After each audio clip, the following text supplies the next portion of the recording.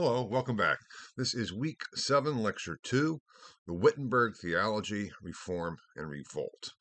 And this lecture follows very naturally, I think, from the past lecture, the previous lecture, where we left Luther uh, in the Wartburg, having been snatched away by Frederick the Wise. Um, but first, before I get into this lecture, um, I want to address something about the, the text analysis number two that's coming up um, after this week, uh, basically, or this week. Um, it focuses on Luther's address to the Christian nobility of the German nation. Uh, and what I would like you to do and to focus on is analyzing the text, which is you know, this is nothing new. Um, this is what I talk about in the assignment itself and also in the guide to writing the text analyses that's posted. Um, and then on that basis, answer the question. But you'll need also to take into account uh, the readings in uh, the assigned read- readings in the Luther book, my Luther book, um, and also some of the other assigned texts, such as the 95 Theses and the, the Disputation Against Scholastic Theology. Um, because the question is asking you to what extent um, can we say that the Reformation started in 1520, which is the argument I put forward in my Luther book, and it's based on then on Luther's um, address to the Christian nobility. Um, can you make that argument based on that text itself? Now, part of that would be comparing um, and contrasting, so, so so to speak, let's say the tone or tenor between the address to the Christian nobility and, for example, the 95 Theses and the Disputation against Scholastic Theology, placed in context of the assigned readings in my Luther book and um, with the lectures. So I hope that kind of helps clarify because it's really a question that gets at the core of our understanding of what the Reformation was and how it developed um, from that point onward. And one of the issues that we need to see, regardless of when we end up dating the beginning of the Reformation, so to speak. Um, and here, of course, keep in mind that there's I make the distinction between the Reformation of the later Middle Ages and then Luther's Reformation. Um, and then we'll be talking about other patterns of Reformation as we go along. Um, and so it's not just one single concept, the Reformation, that covers everything. It is different types of reformation, different forms of reformation, different attempts or calls for reformation. Um, you know, what, what was a, is a difference between Luther's address to the Christian nobility the German nation and the Reformation of the Emperor Sigismund, for example. Those aspects were there, or between you know Luther's uh, address to the Christian nobility and Jordan Quedlinburg's exposition on the Lord's Prayer. Put that all into kind of context and say, okay, looking at the, this different development, was Luther's uh, address to the Christian nobility a product of the Reformation of the later Middle Ages? Or is it a new departure? If so, how so? If not, why not? That's what it's looking at, and what I want you to, to, to kind of analyze and get at. And I hope that kind of helps. Because it's one of his three great treatises of 1520, which really unleashed then the attack uh, and the controversy on Rome and consequently, the attempt uh, uh, by Rome to really say this is not simply um, a, a, problem that we can ignore or dismiss as a, a, a squabble between monks. This is getting serious. That led then to the Diet of Worms, with Luther being whisked off by Frederick to the Wartburg. And that brings us then to the uh, point of departure for this lecture. Because at the Wartburg, as I'll be talking a little bit actually in the second slide, uh, or the third slide after this introductory part, um, Wittenberg was in confusion. And I'll be talking about a bit more about that and when they became aware uh, of Luther's whereabouts and those interactions, and then when Luther ended up returning to Wittenberg. So I'll be talking about that shortly. But Luther was not alone um, in his efforts, so to speak. And so often we focus so exclusively on Luther, and I'm not trying to undermine his importance at all, but we don't look at the broader context. That's why this lecture with the Wittenberg theology, Luther himself referred to it as that. Our theology at Wittenberg is the theology of Augustine. And we're really bringing about something new. And part of that, too, was a figure that um, became Luther's right hand man, and in some ways had more importance for the development of Lutheranism than did Luther himself. Now, that's, I know, quite a statement, because without Luther, there would not have been Lutheranism. Um, and yet, still, in terms of how Luther's movement developed later on, especially after Luther's death, um, this figure was central. That figure was uh, by the name of Philip Melanchthon. And I think I've already addressed Melanchthon a bit uh, in previous lectures, talking about humanism. So this is going to be somewhat brief and reminding you of that lecture on humanism and reform uh, when I talked about Melanchthon um, and how he changed his name to the Greek form because it was Philip Schwarzerd in German, and he changed it, making it Greek to Melanchthon, uh, the Black Earth, and so. But really, it was uh, uh, a big event for for Luther, also in the context of Reformation as university curriculum reformation, reformation of the university curriculum, bringing in humanism. And Luther was all for that. And Wittenberg hired um, or sought to appoint a new professor of Greek, which was not part of the scholastic um, university curriculum at all. So this is a new kind of departure. Let's bring in someone who, who can teach Greek. I think I mentioned that they wanted to get Johannes Reuchlin, who was a very famous uh, German humanist, and Reuchlin was too old and said, "No, I'm not going to do that." But hey, my nephew um, Philip Schwarzerd is brilliant, and so he's young. Um, he's 21. I mean, he was born in 1497. And why don't you hire him? And that's what they did, Melanchthon. So Melanchthon comes to Wittenberg in 1518 um, as the new professor of Greek and gives his inaugural address, which has the title on the reform of studies, in which he argued for uh, a humanism uh, to be part of the curriculum to focus on classical Latin, Greek, and then Hebrew. And Luther was blown away by it. Uh, and Luther said, okay, Philip, this is great. We can work together on this. And what I want you to do too, now keep in mind, 1518, the indulgences controversy was beginning to uh, make waves.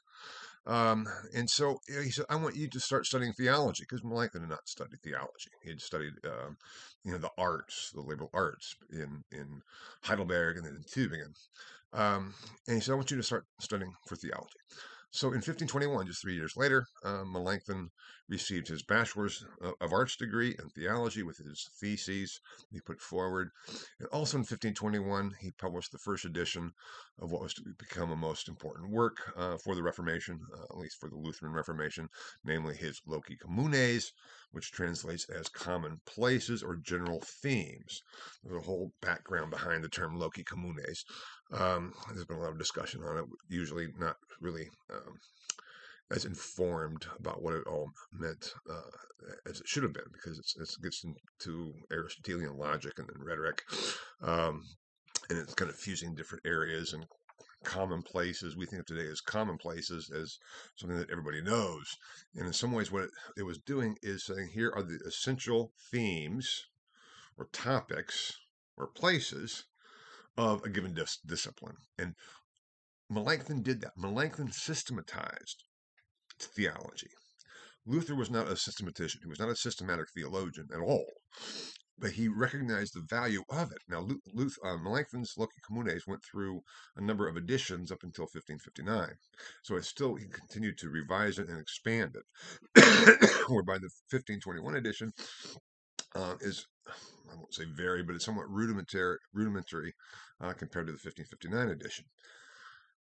Keep in mind, Luther too said uh, in his preface to his Opera Omnia, which he talked about his great breakthrough. Said, "I wish everybody, you know, my writings uh, would all been burned, with the exception of De Servo Arbitrio on the, on the bondage of the will and my small catechism." He says because there are better works out there, such as you know Philip's Loci Communes. That's the estimation that Luther gave to this work. And Melanchthon first publishes it in 1521, as, after he had only been studying theology for three years. Now, Melanchthon went on not only to support Luther, but also to indeed uh, revise and transform the curriculum at, at, Wittenberg. He began, began writing textbooks for Wittenberg on the liberal arts. he writes a book on physics. He writes a, uh, several treatises on ethics, and he keeps revising these too. There's a couple of editions of his physics. Um, he writes a book on um, a, a, Greek grammar. He writes a Latin grammar. And so, in some way, in the Loci Communes, in some ways too, is, is a textbook. He became known as the teacher of Germany, the Praeceptor Germaniae, um, because he provided the textbooks that actually continued in use uh, in Germany until the 18th century. So it's a, a, major impact in terms of who he was and what he did, um, and it's fascinating. Uh, and also, we begin to see this transformation humanist transformation. The other scholars, um, Anthony Grafton and Lisa Jardine, talks about you know from humanism to the humanities, a real transformation of education from lecturing on individual texts to courses in subjects. I think I, I said that you know in the universities, um, you would hear lectures on texts of Aristotle or texts of the Bible or texts of Peter Lombard's sentences. It was very focused on a, a given text. Melanchthon certainly knew Aristotle very well and was pushing for a new translation of Aristotle. Um, but he devised these textbooks that are focused on the subject. Even if he's using Aristotle, especially for his dialectic, his what we call um, or logic, because there's another textbook on, on, logic or dialectic, which also went through numerous editions, um, and rhetoric as well. But he's talking about the subject itself, and so he's part of this transformation. Again, using the phrase not mine, but Anthony Grafton and Lisa Jardine's, uh, of the transformation from humanism to the humanities, from education being focused on individual text being focused on subjects. And that is what he provided Wittenberg students with, and indeed uh, most of the universities within the empire eventually. And it all kind of begins. It starts with Melanchthon, even though there's still a lot of humanist interest other places. I think the first um, humanist allowed to lecture on poetry was actually at Heidelberg uh, in the later 15th century. But with Melanchthon becomes really institutionalized. And Frederick the Wise sees this as a good thing because this was his university. And Luther is making uh, it famous, and now Melanchthon is doing things that also are making a reputation for Wittenberg. And in so many ways, we need to see not Luther, but Frederick the Wise as the true father of the Reformation. And this brings me back to where we left off the last lecture with Luther at the Wartburg. And here we see, yeah, the first thing, Frederick the Wise is the father of the Reformation, because when we realize what would have happened to Luther at Worms, when Charles V says, "Okay, I will, uh, uh, I will honor my safe conduct. You may leave Worms," but thereafter the imperial legislature has deemed you condemned and to be captured and handed over to Rome. And Luther thought that was was exactly what was going to happen. He has escaped being burned as a heretic, which he thought he was going to at, at, at Worms, like uh, he knew had happened to know, Jan Hus at, at, the Council of Constance. Charles, at least, um, Charles, I, I really feel for Charles V.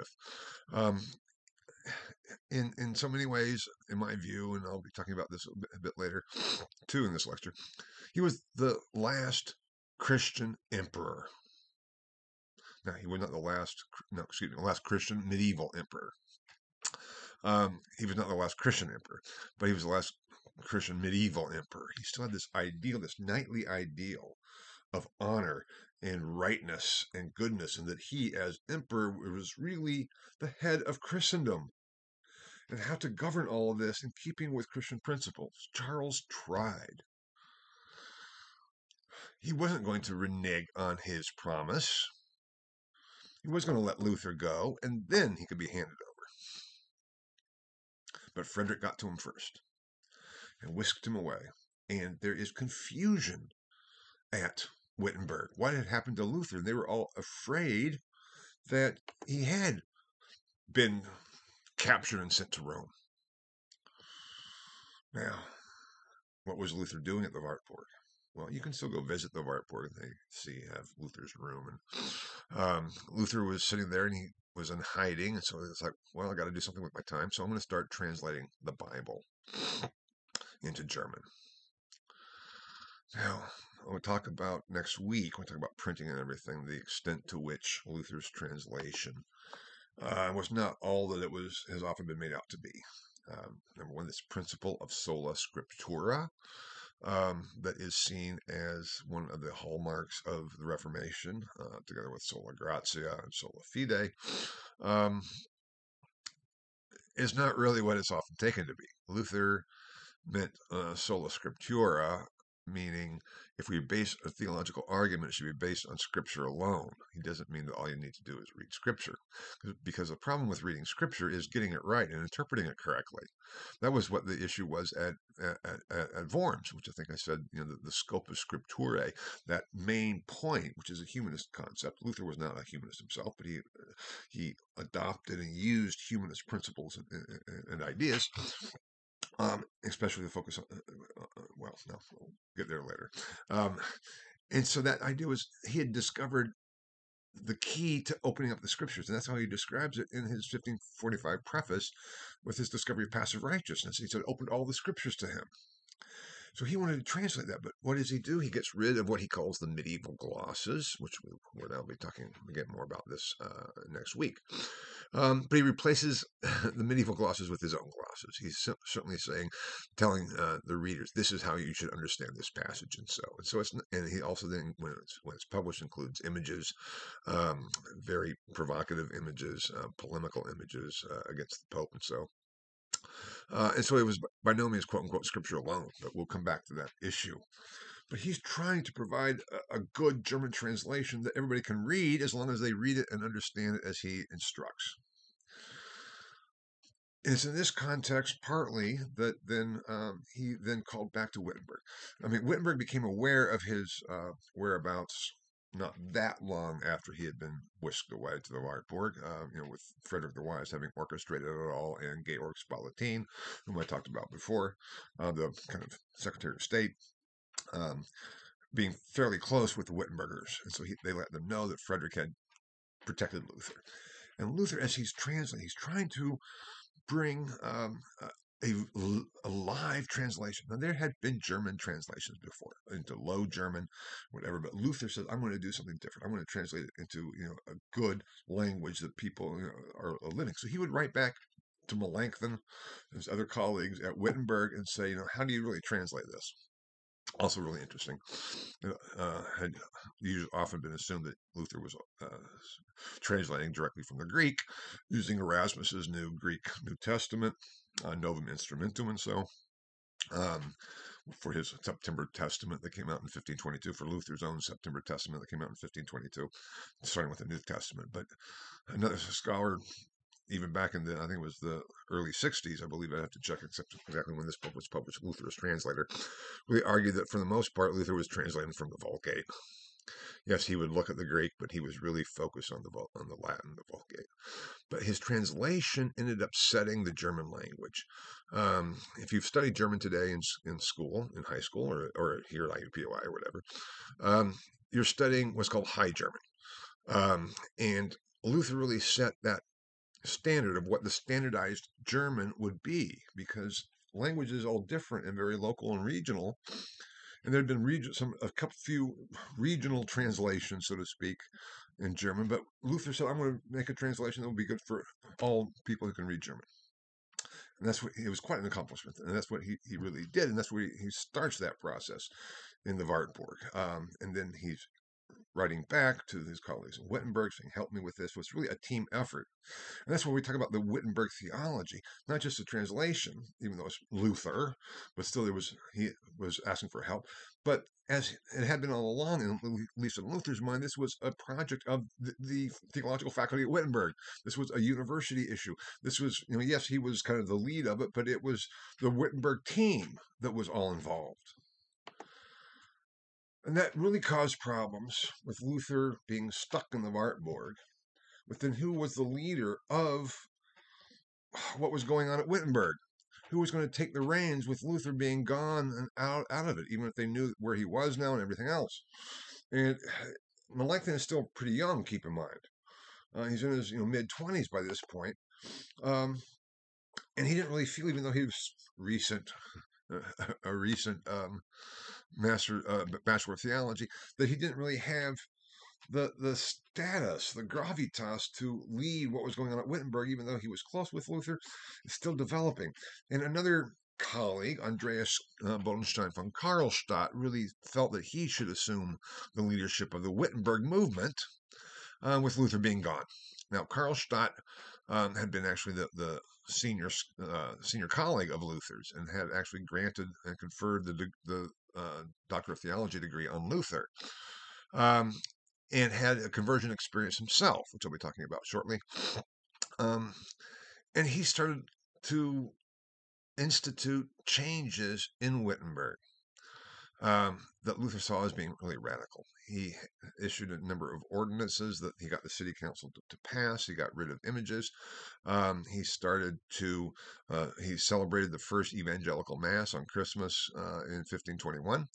He said, okay, you know, we're going to really do this. we're going to really do this. And when Luther heard of what was going on, especially the iconoclastic outbreaks of destroying images and trying to get rid of things uh, in churches, Luther said, no, no, no, no, no. And that prompted Luther's return to the Wartburg, or to, to Wittenberg. Because even though Luther realized he was in danger, he thought, this can't go on. I need to go back to Wittenberg to set things straight. And he does that in March of 1522 and preaches a series of eight sermons called the Invocavit sermons, because they began, I think, on, on March 8th. Um, it was called Invocavit uh, Sunday, in which he kind of says, we have to slow down. And he chastises uh, Karlstadt for having gone too too quickly. And he says, you know what? Even if these changes are legitimate and even good in one sense, you're forcing them and then having the city council pass laws to instill them that is turning the gospel the freedom of the gospel into law and that is the cardinal sin for luther and so he says we have to stop this we have to stop this and in so many ways karlstadt was humiliated um, and I'll be talking about him in a second a bit more. Uh, but the point here is that this was not just Luther, this was a whole team of what was going on in Wittenberg. Uh, Christopher Scheurl was a, a lawyer in, in, Wittenberg and one of, became one of Luther's close associates. And then Melanchthon, of course, and then Karlstadt early on had been, and became one of his most ardent advocates who even went far beyond Luther. Um, so there's all kinds of, of developments at Wittenberg as Luther's in the Wartburg, and then with his return. Um, and we'll see then well, why didn't Luther why wasn't Luther just captured then? Well, for one, he's traveling through Frederick the Wise's territories, going from one Frederick the Wise castle in the Wartburg back to Wittenberg, which is definitely within the territory of Frederick the Wise. So he has Frederick the Wise's protection. He had to be careful where he would travel to. Um, he was quote unquote relatively safe traveling within Frederick's lands but he couldn't really travel somewhere else. Anyway, that's gets into other issues. But that's what kind of what was going on in Wittenberg while uh, Luther was at the Wartburg. But here I want to come back and focus a bit more on Karlstadt, um, just a little bit more because I already, already talked a fair amount of. But there were tensions there with uh, between Luther early on. And here I have, you know, the old guard radicalized Andreas Bodenstein from Karlstadt. Um, because as I said, he was really part. Uh, Karlstadt was really part of the, the, the old guard at Wittenberg. Um, he was um, already established there, even though it's still a new university. Um, and he just thought at first that Luther represented this almost newfangled approach. I mean, this gets into university politics. I'm not sure if I mentioned this before in terms of the Via Moderna, the Via Antiqua. I think I did a little bit. Um, and Karlstadt was uh, was a member of the Via Antiqua at Wittenberg, whereas Luther then came in as part of the Via Moderna. Um, so there's those tensions as well. And at a public disputation in 1516 for one of Luther's students, Bartholomew Feldkirchen, um, and Bartholomew was, you know, defending theses that had been written by Luther. Um, and one of those, in the course of that that disputation, he made the statement that um, the, the treatise on true and false pen, penitence was not by Augustine.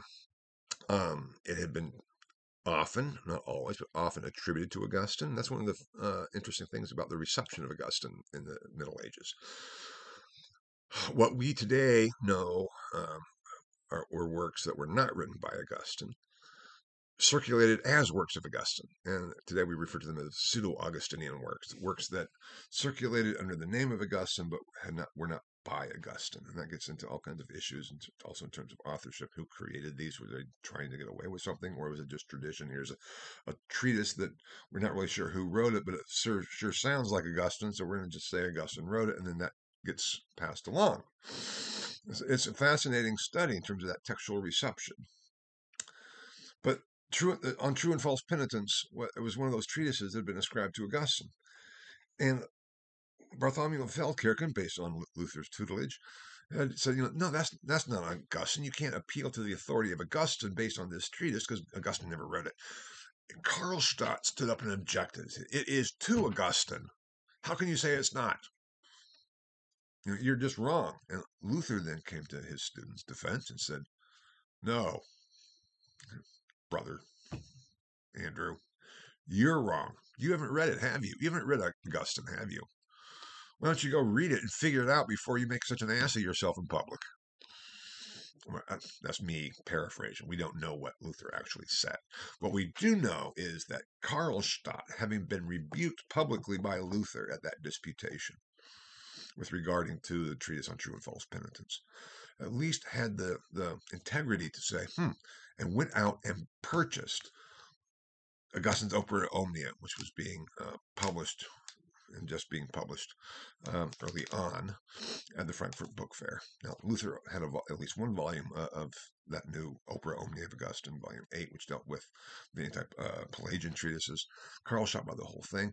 He read it, thoroughly studied it, and thought, oh my God, Luther is right. And he, Karlstadt was so impressed with uh, uh, on the spirit in the letter, De Spiritu et Littera, uh, which was an authentic work of Augustine's. Then he said, I'm going to issue a new commentary on the De Spiritu et Littera. And he does so. He publishes a new commentary, and that gets into the whole debate about Luther. Luther's statement in 1545, uh, I told you about. He said he, he went back to Augustine against hope. Um, blah, blah, blah. I've already talked about that, I believe, in previous lectures. That radicalized Karlstadt. Maybe perhaps because of his sense of, I was humiliated and wrong. Oh my God, now I'm right. And I'm also right. I see that Luther isn't going far enough. He started referring to, to, to Luther as Dr. Pussyfoot, um, as someone who wasn't really going the whole way, really seeing the impact of what he had actually even started. And that's why when Luther is off at the Wartburg, Karlstadt all of a sudden says, ha, I can take this leak. And that's when he, uh, you know, announces that he's going to, to get rid of the Mass. Luther didn't hadn't gotten rid of the Mass, but Karlstadt wanted to get rid of the Mass. We're going to have the first evangelical Mass or celebration on Christmas, and I will give uh, celebrate communion, giving the body and blood, the bread and the wine to everybody, which was a shocking thing. Because like, wait, really? And Karlstadt does that. And not only does he do that, he doesn't come in his priestly vestments. He comes to celebrate it simply in a, in a robe. And he started referring to himself as Brother Andrew. Now, that was just too much for Luther. That combined with the iconoclasm that was going on under Karlstadt's instigations and the city council passing laws to institute these changes, that brought Luther back and Luther, in these eight sermons, the Invocavit sermons in March of 1522, just nailed Karlstadt, not necessarily by name, but what was going on, and rebuked what was going on. And that, once again, humiliated Karlstadt. So much so that he ended up leaving Wittenberg. Brother Andrew left when he ended up in a little town called Orlamunde, becoming the pastor of Orlamunde. And Karlstadt really became one of the founding fathers, if not the founding fathers, of what uh, ended up becoming the, the, the Baptist movement. I'll be talking about the radical Reformation, so to speak, um, next week, and also then later on, I think, as well, a little bit. Um, but it was this issue of okay, Luther, you were right, but you don't go far enough. We need to do a lot more, and we need to get rid of all you know priestly vestments, vestments, and we are just going to have this communal issue, and also then the whole baptism issue, which will be uh, was very important. I'll be talking a lot more about that later on, uh, not today, but in later lectures. So that is part of it, and Luther, you know, worried about this, and um, he didn't really know what to do. So we have this situation in Wittenberg, where there is controversy, there is you know this and that. Luther is now out of hiding; he's come back, and that and still is publishing, and that means too everyone else within the empire knows he was not no longer being hidden and protected by Frederick, even though he's being protected by Frederick within Frederick's own lands. So the question then becomes, why didn't Charles V then at that point move against Luther to put an end to the whole problem and controversy? Well, Charles didn't have the opportunity to. And that's one of the interesting things about the Reformation is that could it have taken hold if the political situation within Europe was a bit different? If Charles or or if Charles had been uh, had given more attention to it or thought that this is more important than my wars with Francis or my trying to deal with uh, with Spain because he's still king of Spain. There's a lot of opposition to him there, so it's he's trying to manage and administer his the empire as a Christian emperor, and that too was causing Charles anguish. Why? Because he had these series of wars with Francis the First. Uh, the Valois king of France, who was also very he was young. Um, Charles too was young, and they kind of clash. And I often refer to Francis I as the first early modern monarch. And we'll see why as we go through it. But Charles had to deal with a, these series of wars with the, the Habsburg Valois Wars, including uh, the sack of Rome in 1527. Now, why is that a big deal? The sack of Rome in 1527 was actually the sack of Rome by Charles's own troops. And why? Because the Pope was supporting Francis against Charles. Keep in mind that the Pope did not want Charles to be elected. He did not want another Habsburg emperor. He thought we should get rid of him. We really can't. He had approached, you know, Francis I to maybe run for emperor, but he realized that the German electors would never go for him, um, nor for Henry VIII, whom also he had approached. And Charles was elected in some ways, you know, despite the Pope's attempts to prevent that election from happening. And so the Pope politically is like, I'm still going to stand against Charles because Charles has too much power. So this political sense, when France and Charles are fighting, I'm going to support France. And the issue was over northern Italy. Same problem going back to Pope John the 22nd and Louis of Bavaria, those problematic northern Italian cities, what ended up being called the Matilda, uh, Matildine lands after Queen Matilda in, in England back in the 12th century.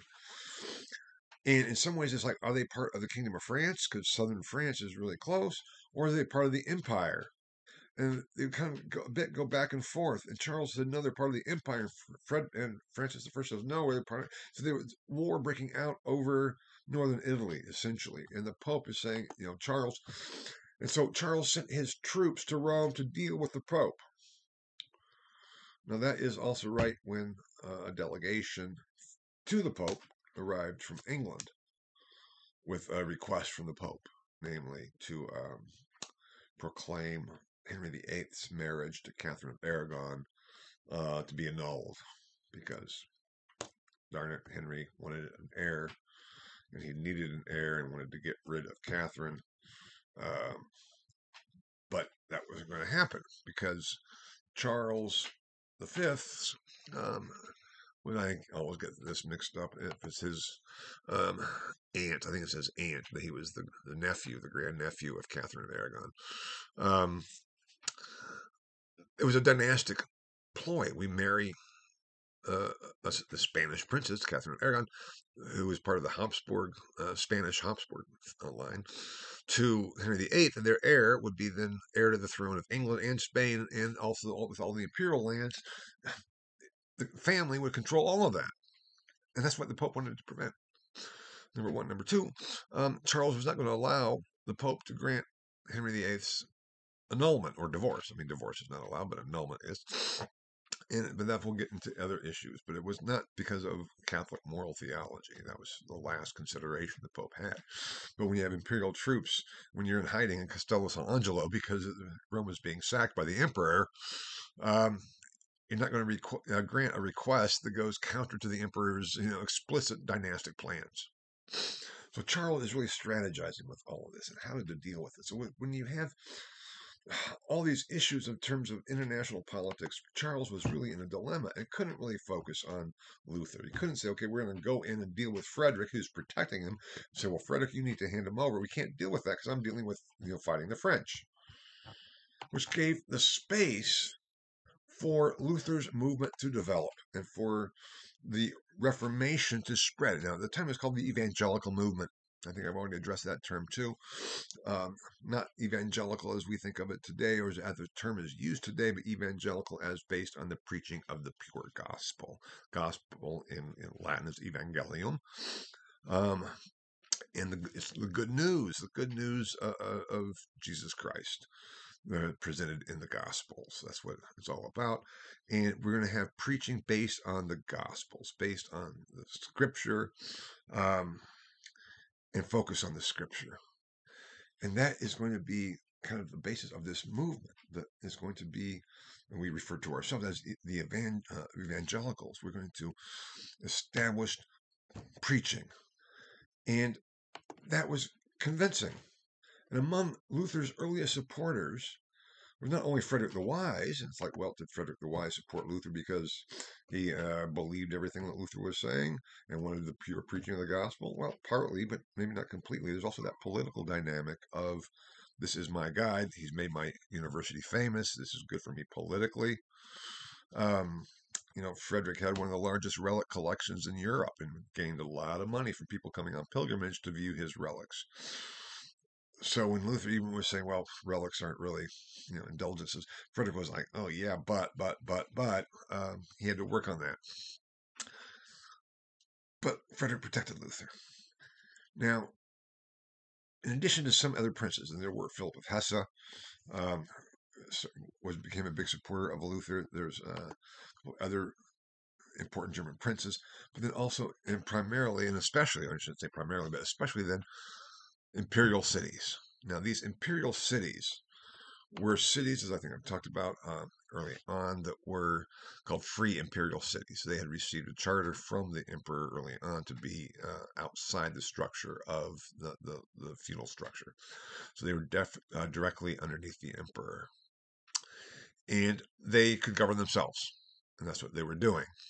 And they started to say, oh, with this, what's going on with Luther and all this, we are going to establish preacherships, civic preacherships, whereby we will hire a pastor to come in, and preferably someone trained at Wittenberg by Luther, to be the pastor for the city, the main pastor, because usually cities are big enough they don't have just one parish, they have several, but we'll have the main pastor who will then also help model and instruct the other priests. And this passion we base on the pure preaching of the gospel. Now I'm leaving aside what the what constitutes the pure preaching of the gospel, but that was the the idea that was put out there that was you know advocated the slogan almost the pure preaching of the gospel. So we have city councils who are governing themselves, making decisions, appointing civic pastors in support of this new evangelical movement that had started at Wittenberg.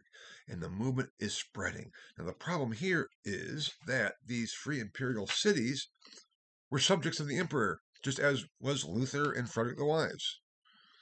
There's opposition then to the emperor. And that includes then developments not only in these imperial cities, especially in southwest Germany, but also in what we call the Swiss. Um, the, and we have, especially we see that with Zwingli, Ulrich Zwingli in Zurich, who begins to um, institute reform his, himself in Zurich. Uh, he claimed that he did so independently of Luther. Um, but it's a little bit later than Luther. There's a couple of disputations, but he, get, he gets um, the Zurich City Council to um, pass ordinances, much like Karlstadt had done. And Zwingli becomes the leader of what later would be referred to as the Reformed tradition. Um, and is important for the background to Calvin because these imperial cities and Swiss cities, because Swiss were free cities too, um, has a whole kind of different model of what the Reformation was all about. In fact, uh, Steven Ozment, who was um, a great scholar, he's retired now, but he's from was at Harvard, first at Yale, first at Harvard. He actually had studied when he was pretty young with the same person I had studied with, um, Heiko Oberman. And one of his uh, early books, which is uh, kind of the last really decent book he wrote. Then he kind of goes off and writes a lot of you know fun stories and stuff, which is great, but it's not really like anyway. That's another issue. Um, but it's called the Reformation of the Cities. A German scholar, Bernd Moeller, wrote the Imperial Cities and Reformation, uh, Reformation, Reichsstadt and Re- Reformation, um, and they put forward this thesis of the, the, the cities, this idea of the free cities seized upon Luther's understanding of the freedom of a Christian, which I'll come back to, we'll see in the next lecture, um, the problems of the misinterpretation of that, at least for Luther, and start developing their own opposition to Rome. Also, based on this concept of Rome had been fleecing us Germans all along. So the Swiss, maybe not quite the same as the Germans, but basically they were, um, at least in the context of the part of the empire. We have to stand against this Italian attempt to tell us what to do, basically. We are free imperial cities. And we don't even have to listen to the emperor because we can govern ourselves and make our own decisions, and we're deciding to uh, to institute reforms along the lines of, of Luther and the evangelical ideas.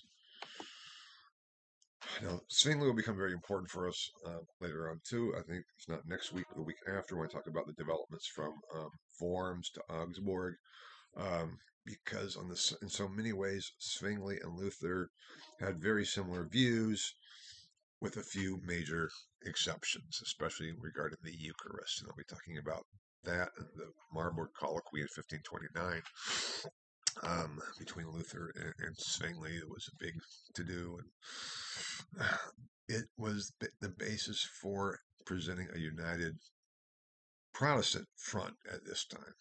And again, before 1529, actually, there's no such thing as the Protestants. We have the evangelicals. I'll be talking about the emergence of the Protestants later, I guess in a couple weeks. But here's eh, but by, by, by the Marburg Colloquy of 1529, they were Protestants. They were basically protesting against the imperial legislature. And the idea was we need to present a united front. We need to get Zwingli, the leader of the Swiss, what was going on in Switzerland, in the Swiss cities, and consequently kind of with the imperial cities following along, together with what Luther is saying. And they agreed about almost everything except the Eucharist. Now, I'll be talking about that later. Uh, again, when we get there in, in uh, next week's lectures, but the week thereafter. So that's why Zwingli will become very important. He ended up dying on the Battle of Kappel in 1531, but we'll come back to that as well. So we have this whole beginning of the spread and I won't say institutionalization, but it's really taking hold, this evangelical movement. It is being, you know, it is growing and growing in ways that Luther didn't foresee. Um, Luther referred to Zwingli later on and a lot of anybody else who did not agree with him as part of his false brethren who kind of see the light, but then they go off in their own direction and turn the gospel into a new law. That was Luther's big problem. We don't turn the gospel into law. And yet, even though there are internal divisions, and Luther can, you know, complain about his his his uh, false brethren, uh, and with Zwingli and some of the Swiss the Schwärmer, as he called them, those people who are just kind of crazy and out of it. Still, over against Rome and over against the emperor, there was this emerging evangelical front that, you know, it's not just Luther anymore. It's not just a single German Augustinian hermit. It is other German princes, uh, several other German cities who are in open opposition to imperial policy, who are refusing to uphold and institute the Edict of Worms, that Luther should be captured, handed over to uh, Rome to try, be tried for heresy and that his writings should be confiscated and burned. That was the Edict of Worms, whereby we talk about the growth and spread of the Reformation and the introduction of the Reformation becomes based on whether or not a prince or a city would enforce the Edict of Worms. That was the key, which was an imperial decree. Because Charles was dealing with France was dealing with his problems with Spain, fighting wars and everything. He had this problem. He couldn't, he didn't have the leisure, he didn't have the space to put an end to this. And consequently, there was space for the evangelical movement to grow to a sufficient position and strength that it was not so easy to get rid of in some ways, it's almost analogous going all the way back, which I don't think I did talk about this in this course. I always talk about this in my Western Civ courses or early medieval courses, to um, to uh, you know, the third century um, on into the early fourth century in Rome, with Diocletian's attempt to once and for all rid the world of Christians, and he issues the Great Persecution in 303, um, and he thinks he's finally going to to get rid of them. Uh, there had been, you know, sporadic persecutions before, but Diocletian, who comes to the becomes emperor in 285, has all kinds of you know administrative developments, which are you know Diocletian has gotten a bad press so much because of this attempt to get rid of all the Christians. But it's like you know I'm going to finally wants to do it. But by then, by the you know by the, the end of the third, beginning of the fourth century, Christianity had grown and developed to a point where it wasn't easy to have gotten rid of if if you know an earlier emperor in the year 150 said we're going to get rid of all the Christians, they could have. They didn't. A few persecutions, what you know, and, and you know, burning Christians or having throwing them to the you know into the, the amphitheater wasn't sufficient to stop the movement. And by 300, it had gotten big enough. It's been estimated probably approximately 10% in where the population was Christians that they couldn't stop it, even though they tried. And in some ways, that's an analogous situation to what Charles was facing. If Charles had immediately after Worms said, and we're going to stop this, I'm going to send imperial troops immediately to get Luther as soon as he steps out of the, you know, steps across the city walls of Worms. We're going to get him. We're going to hand him over to the emperor or to the pope, over and done with. But that didn't happen. Charles didn't have the space to do that. He was at Worms, makes his decree, signs the decree, and he has to go deal with you know, international politics the, as the emperor, leaving it to others to take care of. Could he have gotten rid of Luther and the evangelical movement? Oh yeah, he could have if he had done, you know, jumped on it. But that space allowed it to develop and to grow to the point where when Charles finally did have the opportunity to try to focus on it, um, it had already gotten too big. Now, that is a story we'll talk about in a couple weeks. Uh, we'll see why and what was going on, developments between, let's say, you know, Luther of Wartburg in 1521 until, you know, the, the Diet of Augsburg in 1530. Because um, there's a lot of developments. But this emerging Protestant front, or uh, well, I shouldn't say Protestant, this emerging evangelical front is against the emperor and against the pope. And I have it there, the Reformation takes hold. And that's really what I'm meaning by this, is that Luther's movement, what started out with Luther's movement, becomes a political movement very early on. From the moment that Frederick the Wise determines, I'm not going to allow Luther to be captured. Why? For personal self interest. He's made my university famous. Individual belief, maybe, partly, somewhat. But standing up against the imperial decree, that, that decision by Frederick to kidnap Luther, to not allow him to be handed over to Rome, was a pretty gutsy move. He's going against the decree of the imperial legislature, the Reichstag. Now, yes, he was one of the major princes. He's the elector of, of Saxony. He had the standing to do that, but it's still it's it was uh, it was it was something. So when I say that you know, call Frederick the father of the Reformation, Just imagine what would have happened if Frederick had not been in support of Luther for whatever reasons he may have had to do so. So, did Luther bring it all about, or was it the political situation? Was Luther aware of the political situation? Uh, yeah, but that wasn't his focus. It became something that he had to deal with, and he did. And we'll talk more about that as we go along.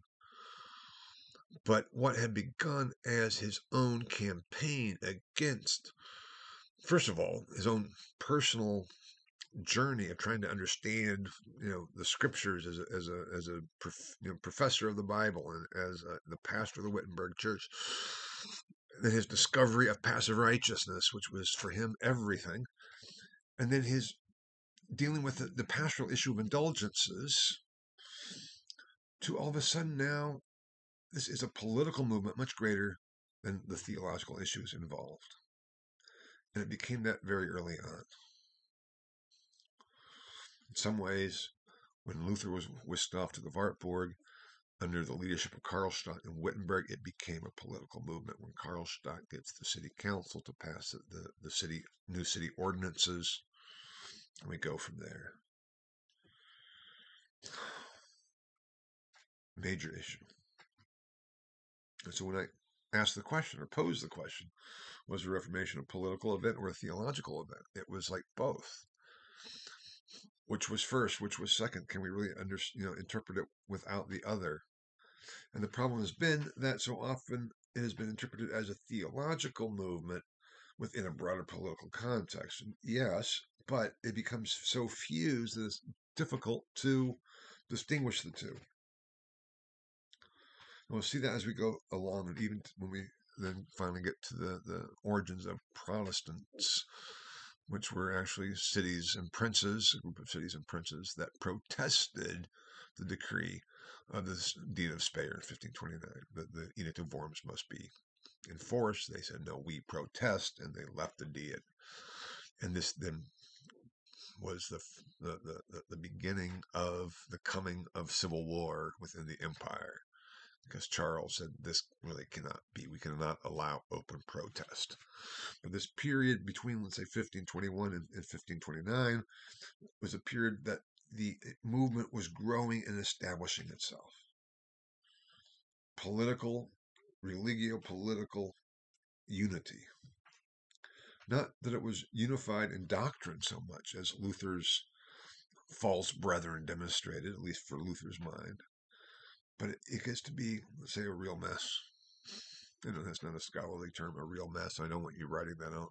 Want you writing uh, as you're answering text analysis too with the address of the Christian nobility to say, yeah, yeah and it all became a, a real mess.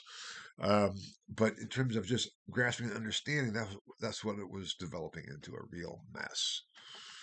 A political, theological, religious controversy and problematic of how do we deal with all of this as we'll see too as we go further, once you throw off Rome, once you throw off you know, the authoritative structure, the political structure of, of, of Christendom, what do you replace it with?